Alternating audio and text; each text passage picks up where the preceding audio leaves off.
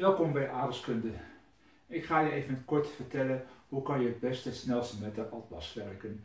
En zoals je bij biologie, natuurkunde, scheikunde de binas nodig hebt, bij taalvakken het woordenboek, heb je bij aardeskunde de atlas nodig. Ik vertel het je aan de hand van de 54ste druk. Uh, vanaf volgend jaar dan wordt de 55ste druk verplicht, maar het principe blijft hetzelfde. Het is belangrijk dat je snel je weg kan vinden, scheelt je veel tijd, want met repetities, volgend jaar met schoolonderzoeken en met het centraal examen heb je altijd de atlas nodig. En het is zonde als je heel veel tijd gaat verspillen met het bladeren in de atlas naar de juiste kaarten. Want in principe moet je het heel snel kunnen vinden. En daarom ga ik je wat tips geven. Dus luister goed. Jullie zijn in de klas gewend om soms werk je wel met de blauwe atlas, de 53ste druk. Op dit moment werken jullie het meeste met de 54ste druk, de groene atlas. En vanaf 2000 18 2019. Dan gaan we werken met de 55ste druk. Ik ga jullie mijn verhaal vertellen met de 54ste druk. Nou, een atlas is, heeft eigenlijk een logische opbouw. Als je hem openslaat, krijg je vooraan de legenda van de hele atlas. Bovenin kan je zien waarvoor, waarover de legenda betrekking heeft. Bijvoorbeeld de kaarten van Nederland, bijvoorbeeld de topografische kaarten, de overzichtskaarten, de, en thematische kaarten. Want bij de kaartjes zelf vind je eigenlijk nauwelijks een legenda. Dus de legenda van alle kaarten vind je eigenlijk dus voor in de atlas. Nou, als je doorbladert, dan krijg je de inhoudsopgave. Elk boek heeft een inhoudsopgave, dus ook de atlas. Nou, de atlas heeft ook een logische opbouw, want het begint altijd met alle kaarten over Nederland. Dan, daarna komen de wereld, zijn de werelddelen aan de beurt. Beginnende met Europa, dan Azië, Afrika en de andere werelddelen. Aan het eind van de atlas vinden jullie dan alle kaartjes over de hele aarde, de hele wereld. Goed, de bladeren we even door. De atlas heeft verschillende soorten kaarten, zogenaamde overzichtskaarten en thematische kaarten.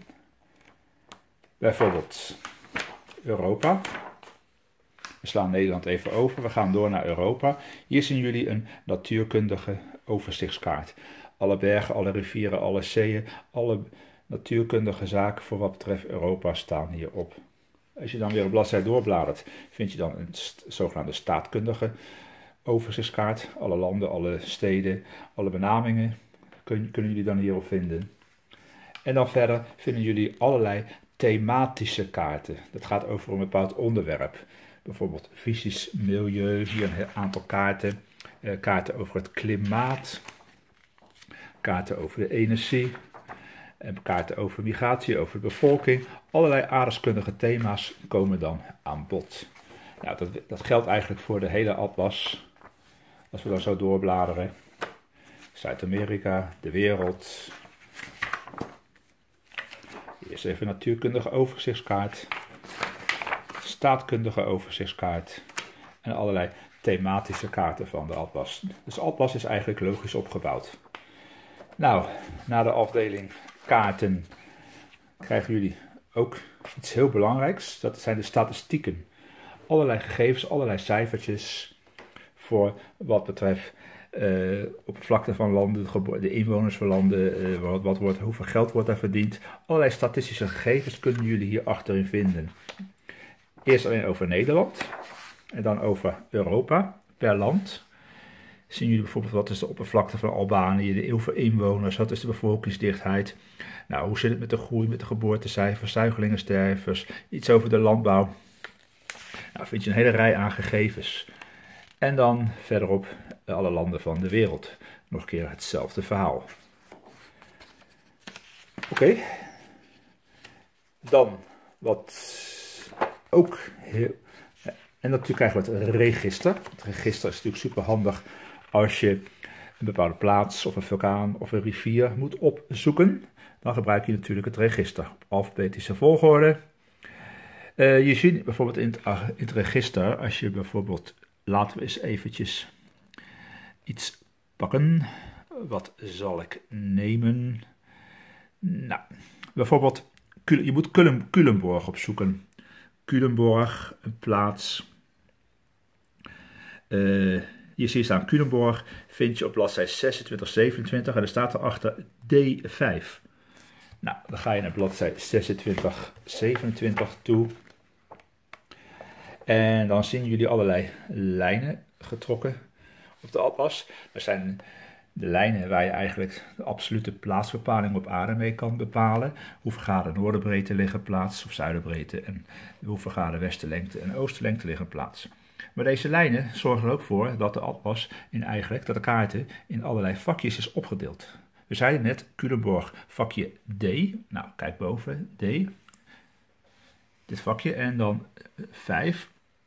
Dan weet je, oh, Culemborg moet ik zoeken in vakje D5. In dit vakje ligt het. Nou, kijk, kijk, daar ligt het, Culemborg. Dan hoef je niet de hele atlas te gaan bekijken van waar ligt Culemborg. Nee, je hoeft alleen maar in vakje D5 te kijken.